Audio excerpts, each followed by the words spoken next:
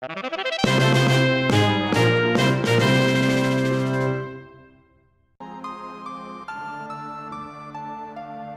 こは俺の家だ。5年前の事件とは関係ないな。でもよ、興味あるぜ。私も久しぶりだったんでしょ聞かせろよ。家族と会ったんだろやれやれ。家族って言っても、親父は俺がまだ子供の頃に死んでしまった。だから、母さんが、この家には母さんが一人で住んでいたんだ。あ、俺母さんに会ったよ。母さんは元気な人だった。全然変わってなかった。その何日か後に死んでしまったけど、あの時は本当に元気だった。お母さん一人残してソルジャーになりに行ったの？鈴木は。あの、はい鈴木？おかえりなさい、鈴木。ただいま、母さん。どれどれ、晴れ着姿。母さんにもよーく見せておくれ。ふーん。惚れ惚れしちゃうね。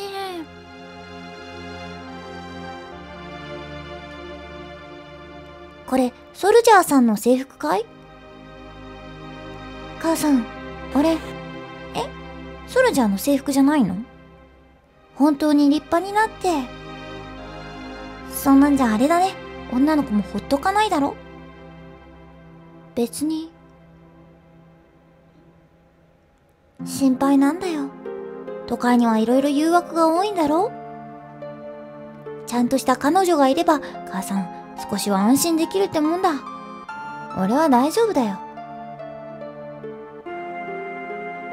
あんたにはね、ちょっとお姉さんであんたをぐいぐい引っ張っていく、そんな女の子がぴったりだと思うんだよね。あ、私ですね。私がぴったりです。私。私です。私です。ちょっとお姉さんでぐいぐい引っ張っていくタイプの女の子、私ですね。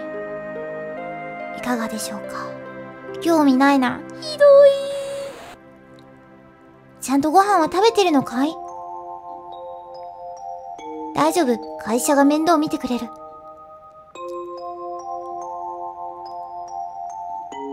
そうなのかい。あんたは料理なんてできないだろ？一体どうしてるのかと思ってたんだよ。ねえ、鈴木。でもねえ、鈴木。そうだろ？鈴木。ちょっと名字で呼ぶのやめてもらえません？母さんはね、いつだってあんたの。もう、やめよう。なんでお亡くなりになってしまったんでしょうね。ねえ、鈴木。私の家にも入ったの？ああ。ケスがいるかなと思って。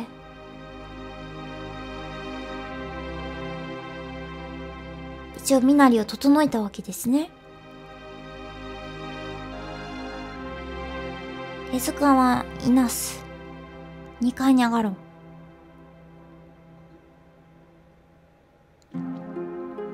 鈴木、私の部屋にも入ったの？入りましたよ。そりゃ入りますよ。ベッドだ。私のピアノを弾いたの？じゃあ、ぎ、ちょっとだけ俺だってが、楽譜くらい読め、えー、っと。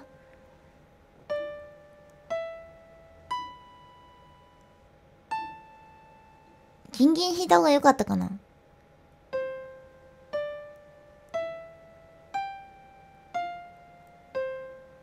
指でポンポンしてる感じか。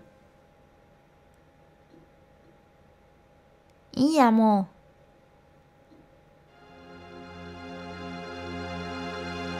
手紙だ。もしかして読んだの？私宛ての手紙。ああ。内容も覚えているとか。はっきりと。俺は読んでしまった。よろずやの息子が手ず、手塚に書いた手紙だった。手塚、元気か？僕は、8日前ミッドガルに着いた。昨日はニブルヒエム出身の仲間たちが集まってくれたんだ。あ、鈴木だけは連絡先がわからなくて呼べなかった。でも、あいつはもともとみんなと仲が良かったわけでもないし、きっと呼んでもつまらないからまあいいんじゃないかなって。うーん、鈴木の話をしてもしょうがない。失礼なやつ。ミッドガルはすごいところだ。僕ははっきり言って遅れていて、ダサダサのなんとかって感じだ。スラムの人たちでさえ部屋の中はとても綺麗なんだ。今はお金がないからスラムに住んでいるけど、いつか本で見たようなおしゃれな部屋に住んでやるつもりだ。などと書いてみたが、そのためにはまず仕事を見つけなくちゃいけない。そうなんだ。まだ仕事見つからないんだ。両親には死んだカンパニーで働き口が見つかったって嘘の手紙を出してしまった。もう後戻りはできないかな。実家のよろずやを継げばよかったかなと思う。ねえ鈴木、それ全部覚えているの？なぜか最後まで覚えている。俺のことが書いてあったからだ。ミッドガルに着いたばかりなのに考えるのはニブルヘイムのことばかりなんだ。ねえ、手塚、あのオンボロ給水塔はちゃんと動いているか？江戸のじいさんは元気か？僕の両親は毎日店を開けているか？モンスターを襲ってこないか？何よりも手塚どうしてる？もう何年も会っていないような気分だよ。昨日もみんなで手塚の話で盛り上がった。みんな手塚が好きなんだ。でも手塚はみんなのアイドルだったから仲間を裏切ることができなかった。なんて格好つけたけど、本当は告白して振られるのが怖かっただけなんだよ。これ以上書くとラブレターになってしまう。だから今回はこの辺で、じゃあ元気で、また手紙書くよ。返事、すごく欲しい。欲しい。返事が欲しい。他なんか面白いことないですかね脱線気味な感じ大好きなんですけど。ちゃんとストーリー終えて、すいません。ストーリーもね、きちんと追うんですが、脱線もしたいんですよね。ちょっと背伸びパンツを手に入れた鈴木、それ本当なの？ああ。鈴木。今はすごく真面目な話をしているんでしょ？怒られた。でも背伸びパンツがあったら、チェックしちゃうよね。仕方ないね。すごく真面目な背伸びパンツ。出ます。う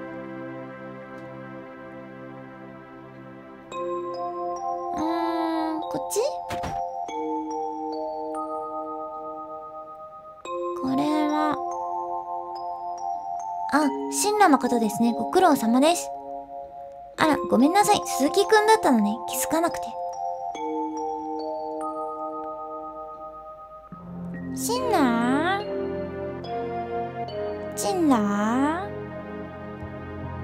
ソルジャー？ソルザ。モンスターやつけるの？つけるの？かわいい。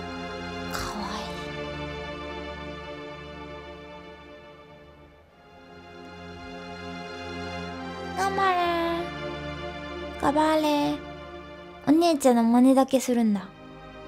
めちゃくちゃかわゆす。ザかわゆすもえすテラワロス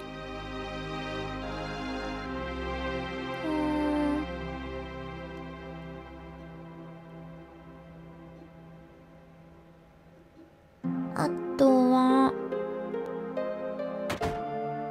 宿屋。ふむふむ、モンスター退治にやってきた神羅の人間だな。あんたは、私はザンガン。世界中の子供たちに武術を教える旅をしている。弟子は世界中に128人。多いな。この村では手塚という女の子が私の弟子になった。あ、だから手塚戦えるんだ。手塚だって、手塚はセンスがいいな。彼女は強くなるぞ。よしこの人がお師匠さんか。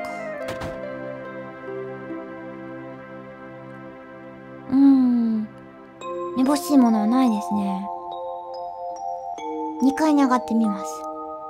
セフィロスいる。セフィロス。